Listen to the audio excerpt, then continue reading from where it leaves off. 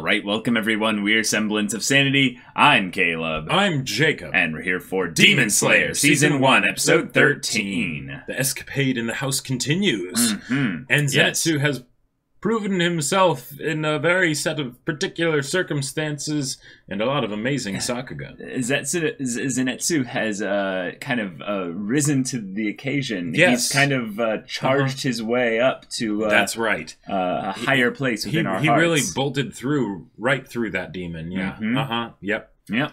Mhm. Uh, we are currently dealing with Kyogai, this uh, unique X 12 Demon Moons demon Mhm. who was rejected by Muzan because of uh, complications regarding his capacities issues. and performance. Yes. Yeah. So Mhm. he's looking for uh, people with special blood, Marechi blood, Right. Or what have you. Yeah, Yeah. Like that. Yeah. And it is a very real possibility Tanjiro is one of these people with special blood. yep. Mhm. Now, it's also a possibility that Nezuko is as well. Uh, Potentially. but but what's what's curious here is then the fact that there was this demon infighting aspect Right. here, Mhm. and yet because demons can't kill demons without you know Uh-huh. special weapons and such, they were doomed to a hellish Yep. internal Mhm. kind of battle royale within this maze of a house. Yeah, but one of the drum things got ripped out, and now the kid has it, Mhm. and there you go. He's Yep. been able to survive just by Yep. Yep. yeah, Uh, Mhm. Little drummer Tanjiro and uh, uh, Boar Boy yeah. uh, kind of came to They to they kind of butted heads a little bit. but yeah, like because this this new character, I I love him. I Mhm. love him, but his attitude seems a bit boorish. mhm. Um, yeah. So you, you, you know, could even say he's a hog for screen time. yeah, yeah, exactly. Yep. Yeah. Uh huh. Yeah. Yeah. That was a good one. He he came up with that earlier. Yeah. But but yeah. Yeah. So uh y'all, without further ado, let's get into this. All right, everyone, be sure to go check out the reaction portion of the video in the description below and then come back here for the discussion.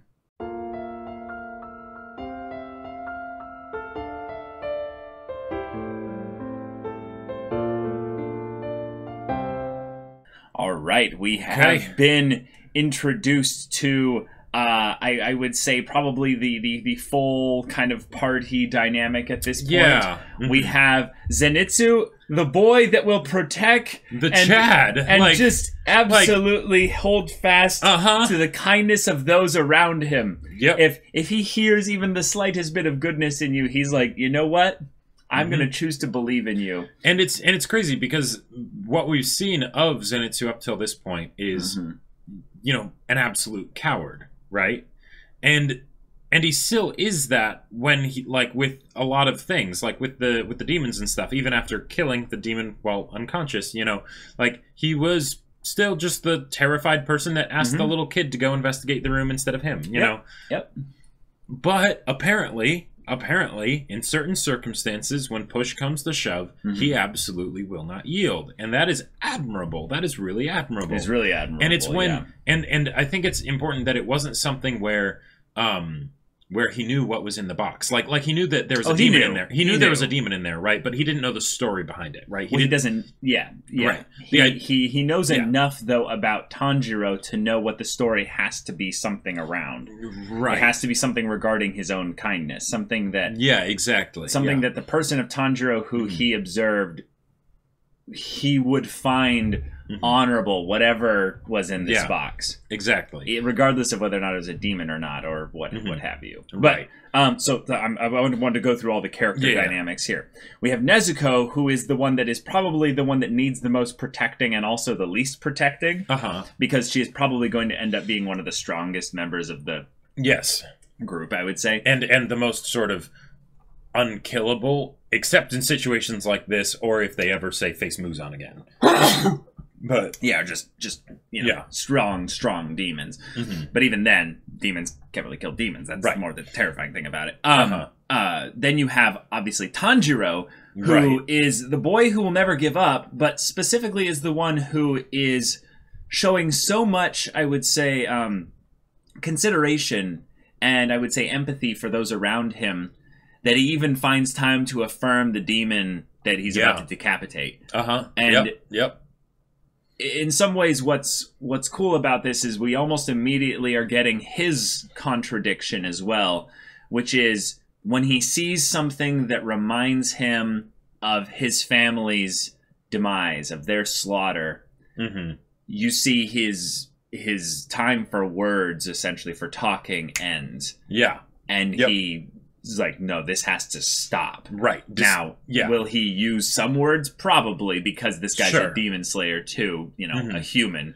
Right. But Mhm. you know, there's yeah. that. But he's using action first. right. Despite and- the fact that he is incredibly wounded. yes, Like. and then we have Boar Boy here, who we don't know why yet, but he has a very single track mind with regards Yes. to the things that he does. Overzealous. He bore charges, yes, exactly, Mhm. overzealous. He bore charges directly into the conflict of things, Right.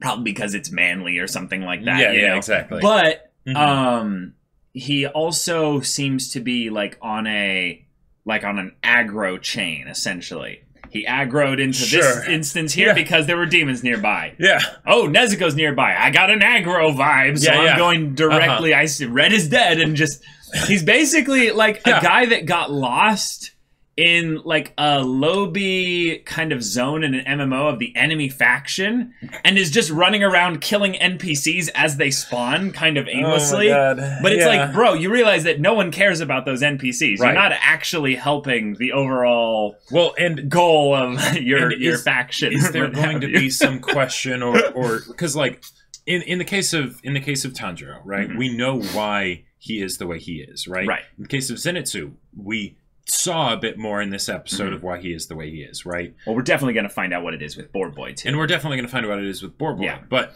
maybe that's that's where it sort of hits the other end of the balance. Like if Tanjiro is in the middle, right? And Oh.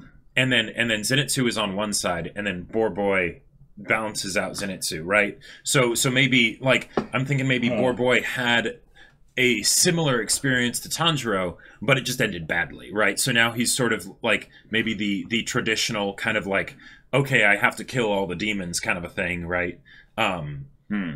and and hence, you know, hence his his dedication to this. Sure. Um the next episode is called "The House of the Wisteria Crest," right which is the flower that Yeah. uh, wards off demons, scares them Uh-huh. away, essentially. right. So that could be related to Boar Boy's family. Could be related to something else. Could be related like, to Zenitsu because he's from a wealthy family at least, Um. I think. Yeah. I. hmm, I. I don't know. Hmm. Yeah, I don't know actually if we've got really too much actual info at all, Mhm. really on on uh, Zenitsu's family. I feel like we got a little bit of it. Right. I think it at the beginning they they made mention of the fact that he was he was from a wealthy-ish family and he was basically sent to I don't- become a demon slayer to sort of like make a man out of him kind of a thing. I no, I think that's entirely headcanon. Oh, really? That was never that was never something I I I don't I don't remember that actually being something that was actually said. If anything, oh, right. Yeah, I think it was because I, the I kind of had that as an idea. Well, well, and also because they there was the mention of the mansion. I think that was that was where I got it because I was assuming like yeah, because in his introductory episode, it was like oh, the next episode's going to be the something mansion, right? So I'm thinking oh, it's going to be you know Zenitsu's family's place or something. Mm. Um, yeah, it's just a good Sure. thing to make sure that yeah. that's a. hmm 'cause I Um, get I get tons of headcanons surrounding these characters and. You know, just making sure it doesn't contradict Right, right. actual reality. So yeah, we have barely anything on Uh-huh. Zenitsu's actual actual family. Right. If Um, anything, we have they've maybe been characterized a bit because of um, uh, his his you know sort of recap talking about his experience with them and whatnot. But that's mild. when did he do at that? best. Talking about you know him how he could always you know he had really good hearing and things like that, and he sometimes you know heard what people. Yeah, but that wasn't. Was that his family? I don't think that was his family at all. I think that was almost entirely just a general thing about people.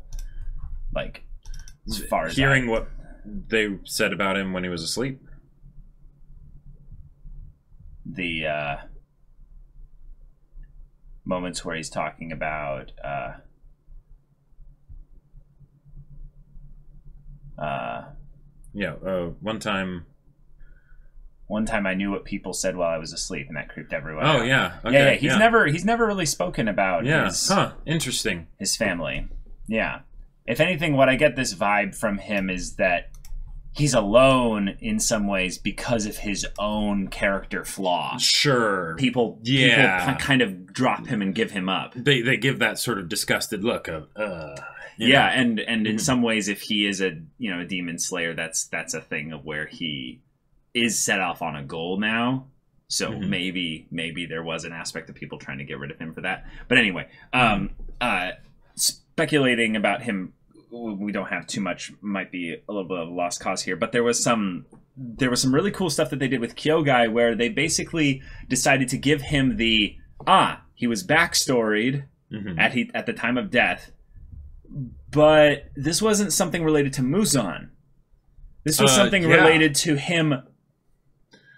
Uh-huh. Maybe before being a demon. Well, I believe so because that that seemed to be where it started. You know, um, That's what I would assume. because otherwise, because he was you know behaving like a regular human before then. Um, well, we didn't get too much. He just kind of sat there and Well, listened to the guy. but the fact at that him. he was working on writing and things like that, that's Yes. not something that a demon would be doing, right? You know, like as far as we Oh. know, he wasn't eating the person. He didn't look like a demon, and and from what we've seen, I Yeah. don't think demons can really hide their demon appearance. Like like that doesn't seem to be a thing that just any demon could do.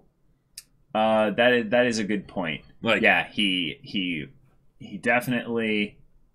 Huh. Like I think, I, like it, it might not be explicitly stated, but I'm pretty sure that they're trying to imply yes, that, that was that when that he was became, when he a, became demon. a demon, which But is is- interesting for that is- world building, Right, that is very fascinating for that. Yeah, Uh-huh. because Muzan didn't create or Right. turn him into a demon. Then, Right. if that's the case. which is yeah, uh huh, uh huh. So, Where do they come from then? Like well, because this is this is something we haven't seen before, and and like maybe Yeah. that was something that like I mean we don't know how from there he ended up becoming one of the the twelve demon blood moons or whatever. yeah, I Um, think that part's just kind of yeah, yeah. self-explanatory. right Yeah. but but it's something where like is is his the way that he turned into a demon i'm guessing that's not common because hmm you know muzan is generally considered to be the the the main instigator of people becoming demons right so Right. so But doesn't that seem also a little bit like, like he's taking short- credit for things that he didn't do Well, not that, but like, doesn't it seem also a little bit short-sighted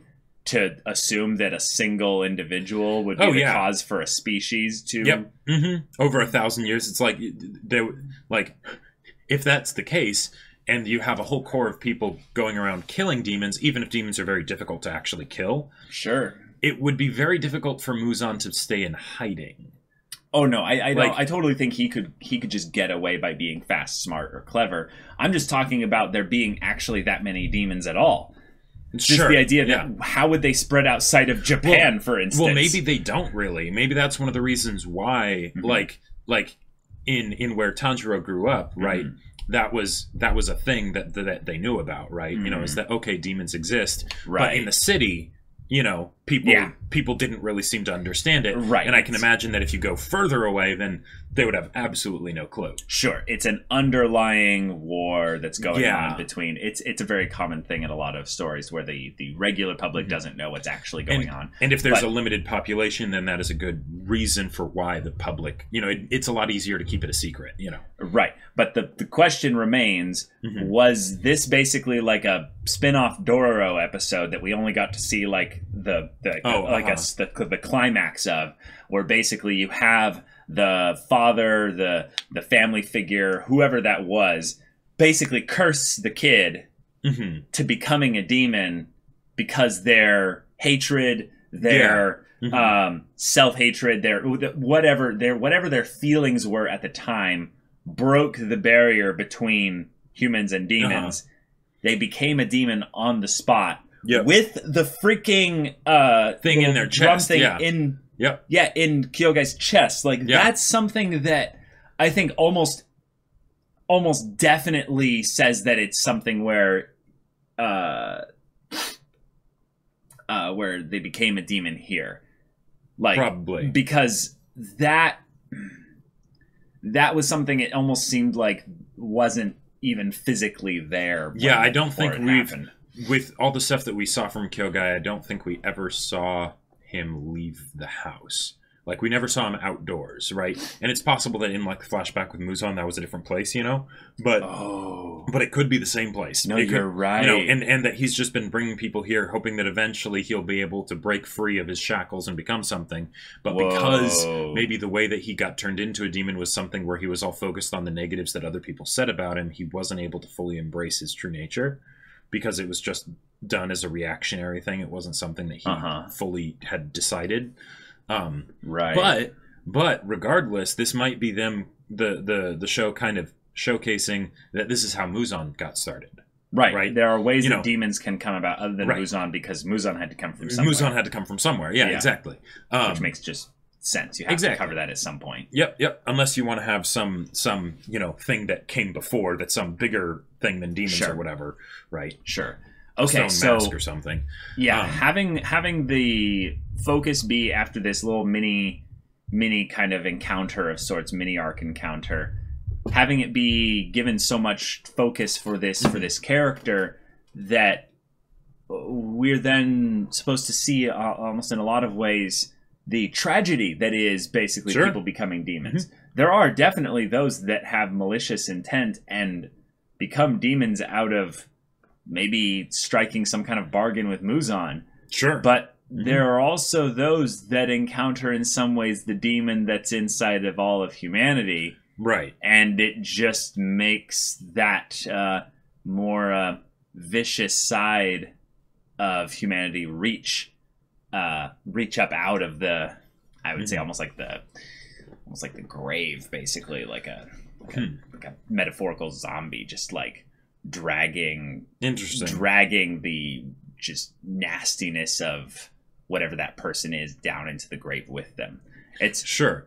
it's ugh. and and it's this you know and, and because tanjiro's in this unique situation where he has a sister who is a demon and yet you know he absolutely cares about her and doesn't want anything bad to happen to her uh-huh.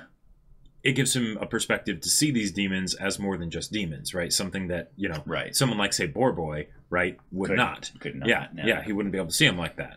Um and Yeah. and it means an awful lot to this demon. And and you almost wonder if the very fact that tanjiro saw him as more than just a demon if that was one of the things that helped him defeat him right because like in the part where um where he landed on the on the ground and he avoided the the, the papers and all that stuff uh-huh the demon hesitated, right? Like like maybe like because Yeah. there there were there were points where Mhm. where the demon probably could have pressed the attack and, Yeah. and didn't because of we saw how that Tanjiro was acting. yeah we saw that actually one of the main points that um, the attack patterns had was that once uh, Sanjiro, Sanjiro Tanjiro got uh, discombobulated Mhm. the uh, the turning and what have you he would send a raking claw attack essentially up Mhm. to attack Tanjiro where he was Where relatively landed, yeah. relatively immobilized for a split 2nd Mhm. Once those attacks were being directed on the wall or the floor or the whatever, the surface that had the paper, though, Uh huh. one of the things that I kind of found to be rather, rather interesting here, and this is something I kind of wanted to go back and check. Is they started striking the air, not the ground. they started striking the air, not the ground, that's one thing, yes. But there was also this aspect of when they were rotating ridiculously quickly, hmm all the papers had circulated out everywhere from amongst the bookshelves and Right. um, drawers that had kept them there. hmm And during that time, he had no problem having them strike the ground. But there was a point before they had actually come out of the dresser drawers or what have you. Oh, uh And I think it was literally shown um, in this episode when that happened Yeah. because they're not on the ground everywhere here. Yep, I think this is it. This is it here. No, no wait, that's not it.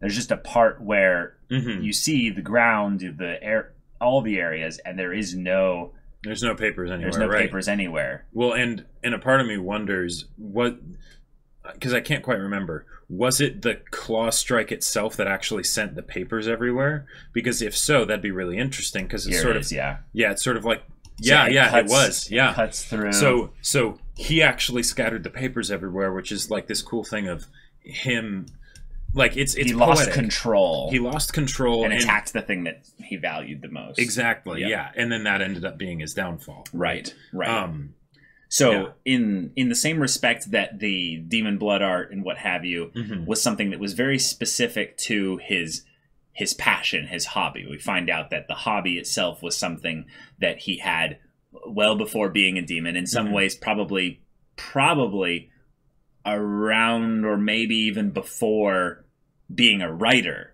The fact that the uh, the person in his past, it was not really relevant who it was. Uh-huh. Basically, was like you should go back to playing the Yeah, uh, yeah. the, the the drums or whatever those things were. And yeah, yeah, not, Not that you're you're not that you can teach teach, anyone that, teach yeah. anyone that, Mhm. but basically saying your writing hobby, if it you know whatever whatever he was calling it in his derogatory way. Is something that I don't value, but I somewhat value this more traditional thing that you can do here that doesn't end up using tons of paper and ink or what have you Uh-huh.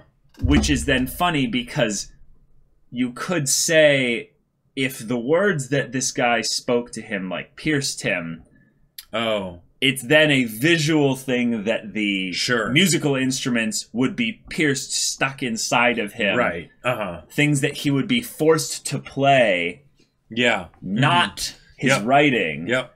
Yeah, that's that's good. Yeah. because in some ways he Mhm. internalized the lack of value that this guy put on his writing right. and then Mhm. basically was like fine then i'll play this i'll play this for the rest of my life i'll play this for all of time oh boy. will that make you happy oh it just it Oh, just kills boy. me it kills Yeah. me and i i love that we contained the uh the the writing Mhm. uh kind of tie into this in this episode although the uh musical bit being something that's just this striking question just by his character design Mhm. makes me love the actual just design of this demon so much more is that it was staring at us all the all along that there was a crippling backstory within this demon because all the other ones that we've seen almost have this beauty to them Right. you or- notice that a lot of the other ones they they always seem to have this like well, put together and Yeah, there because the the drums didn't look like they uh,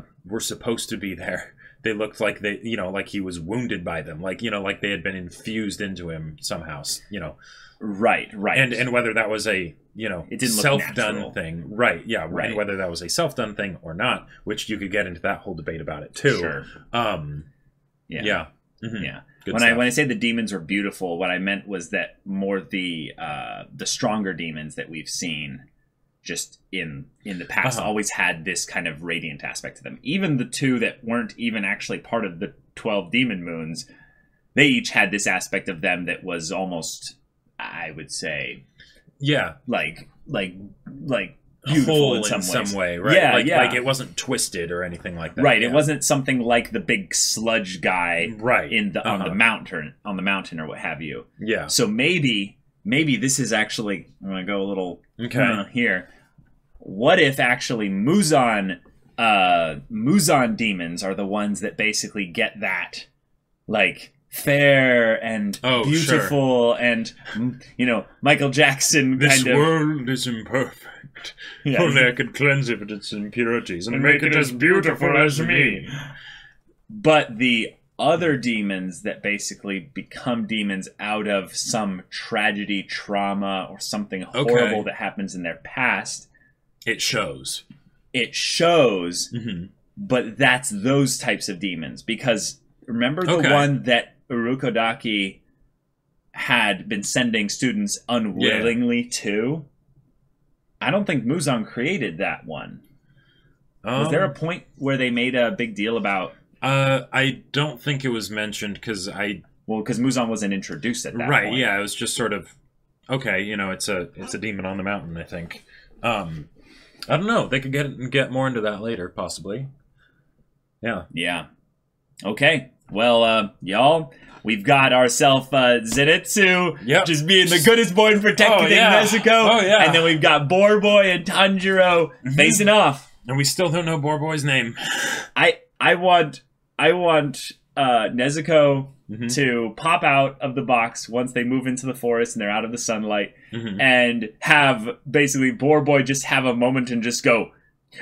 She's so adorable. Oh my gosh! Like, like, like it's not actually that Zenitsu is the one that is like, I must protect. You know, it is actually Boar Boy who's just like, oh my god, Although this beauty. I Although- would give my life for her. that would be awesome. That would be awesome. I would not be surprised at all, though, if it was something where Tanjiro, because of his wounds and things like that, he was Right. actually having trouble defeating Boar Boy. right. and then you know the sun goes down or whatever it's a long fight or something and then and then nezuko comes out and then zenitsu before you know he was simply just doing it as a i will stay here and take your blows and all that stuff but i will not give in suddenly he goes into serious zenitsu mode like no oh, probably Oh, not man. probably not Yeah, well, But- we'll see, oh we'll boy, see. it'll be interesting It to see be what they do yeah. But yeah, y'all, thank you so much for watching this episode's reaction and discussion. If you want to see the next episode's reaction and discussion right now, go check out the link in the description below for our Patreon. You can get on early access there. You can watch full length timer reactions there. And all this comes with Discord access, so you can chat with us in the community there about this show, about anime in general. And you can also talk with Jacob about the sci fi novel that he wrote. You're, I wrote a book called Battle Lines, and it's really cool, and it's awesome, and it's on Amazon. The link is in the description down below. It's in both hardback and ebook. Go check it out. Yeah, so if any of that interests you, we'll see you there. But until then, we're Semblance of Sanity. I'm Caleb, I'm Jacob. and we'll see you all next time.